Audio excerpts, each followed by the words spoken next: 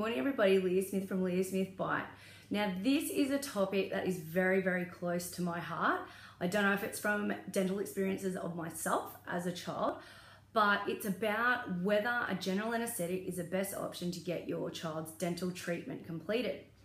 Now, I am actually against this unless it's definite circumstances and it is seriously your last option.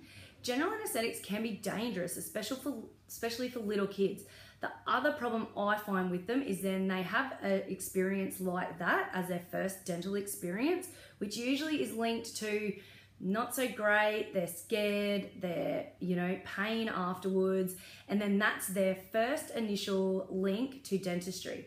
So I actually prefer that if you are thinking about that, please do give them a go first in the chair. If you get a great provider who knows what they're doing, one, you're going to give the child a much better experience than going the hospital option. Two, you're going to save yourself a heap of money.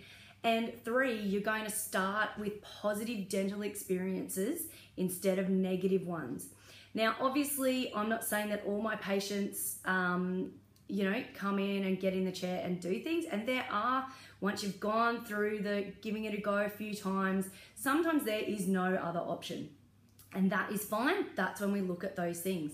But don't just, you know, think about your past experiences and assume that is the best way because sometimes it is not.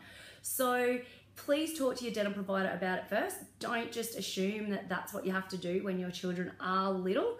And it does depend on what is needed. So do see someone who obviously treats kids a lot and has experience in this as well because there is definitely a massive difference with people who don't because they will go for that option of the general anesthetic in hospital way quicker than what someone say like I would.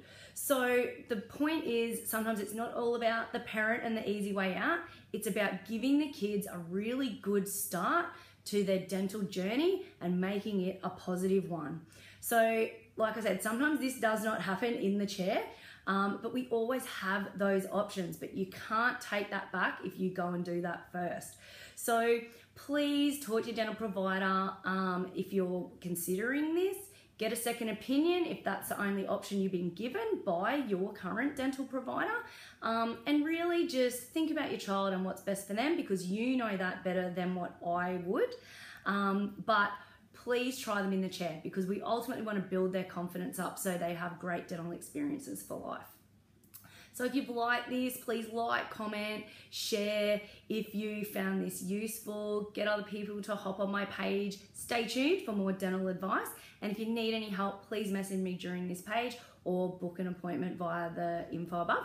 Have an awesome day and see you all again soon. Bye.